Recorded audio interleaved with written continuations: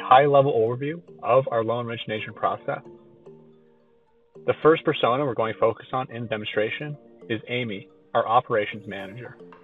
Amy is responsible for the gathering of documents and information, and then the formatting and validation of data from John. Amy and her operations team are going to be able to use UiPath's natural language processing models to understand information from communication channels. In this example, we have 40,000 emails coming into the firm.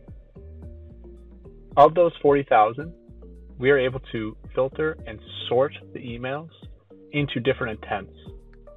This helps us understand why customers are reaching out to us and the general tone or perceived quality of service from the customers. For the demonstration, I'm going to drill into examples of document submission emails from the customer. There's going to be two things we want to emphasize. One is going to be the classification of the intent of the email. We can see all of these emails are related to loan applications and document submission. The other piece I want to emphasize is our ability to extract information from the email. In this example, you'll see that I'm able to pull client name John Smith from the body of the email, as well as extract information from the loan application document attachment. Once the natural language processing model identifies the intent, it is able to intelligently route the email to the correct person on Amy's team to process the attachment of the email. In this example, as part of the loan application, John is including a brokerage statement. Instead of going line by line through the brokerage statement, pulling out the important fields, the user simply just has to validate that the extraction of the values is correct and then submit the document for further downstream processing. Amy is able to use the UiPath platform to gather and format information from John.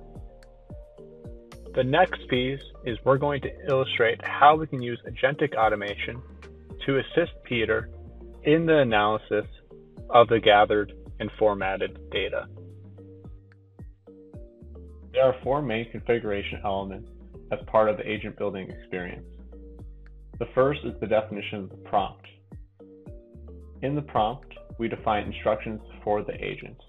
These instructions include the goal of the agent, the steps to follow as part of its analysis, the escalation protocol for the agent, and then the format we want the agent's analysis in. The next configuration element is configuring the tools that the agent can use as part of its analysis. These tools can gather information from internal systems, external systems, or customer supplied information. In my example, my tools are getting information from the documentation that John submitted as part of his application, as well as querying our internal CRM to get John's information and profile. We have a pre-built library of tools that our customers can include as part of their agents. The third element we configure as part of the agent building experience is context.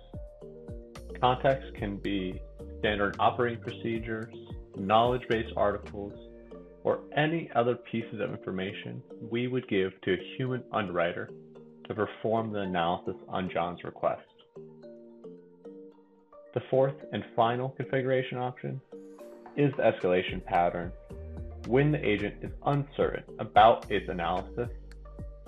How can we inject a human in the loop for a controlled agency?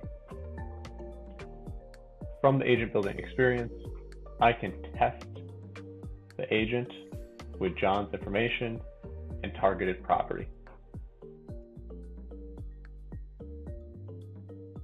As the agent runs, we can follow its thought process in its analysis by tracking when and what tools it calls. When the execution is complete, we have a full audit of the tools and the response the agent got as it executed those tools. We can also see the recommendation that the agent supplies to the human user. We can also use these agents as part of long-running workflows in an unattended scenario. In my example, I have the agent response feeding an automation that goes and enters information into the loan origination system.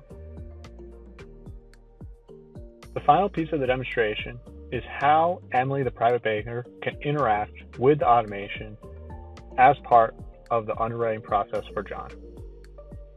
Emily is going to ask her desktop agent to run a loan analysis for John's profile. The agent is going to use the sources that John sent to the private banker to complete its analysis. When Emily asks the agent if John can afford a 5% down payment, the agent is going to recognize that it does not have sufficient information to make the decision. At this point, it is going to send a request to Peter to verify that the request is valid. Upon completion, the data is summarized to Emily through the agent. She can then take the summarized information and proceed to schedule a meeting with John to review the findings.